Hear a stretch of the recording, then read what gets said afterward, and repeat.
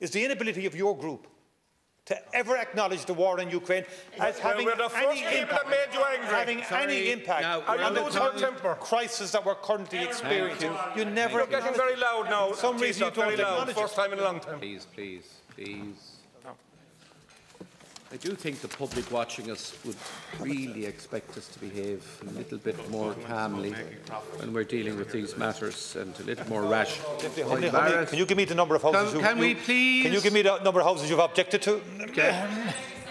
Please, please, please. That's not, that's not an insult. You, you opposed, you No, no, planning applications. Please, can you we opposed stop? planning applications. Please, can we stop bickering and let's get on with the question? Deputy Boyd. But Ceann Comhairle- Taoiseach, Taoiseach. Ceann Comhairle, could I make a point of order if I could?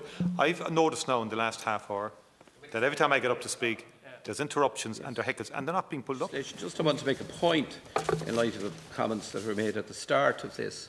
Um, it's become very much a part of daily life here that the chair is routinely ignored by people who should know better, and irrespective of who operates or sits in the chair. And I took the comments made by the Taoiseach and the Chief Whip earlier to suggest that I was not doing enough to protect them uh, from the opposition. Now, I will review the uh, video of the contributions uh, together with the clerk of the Dáil and I will correspond with you afterwards.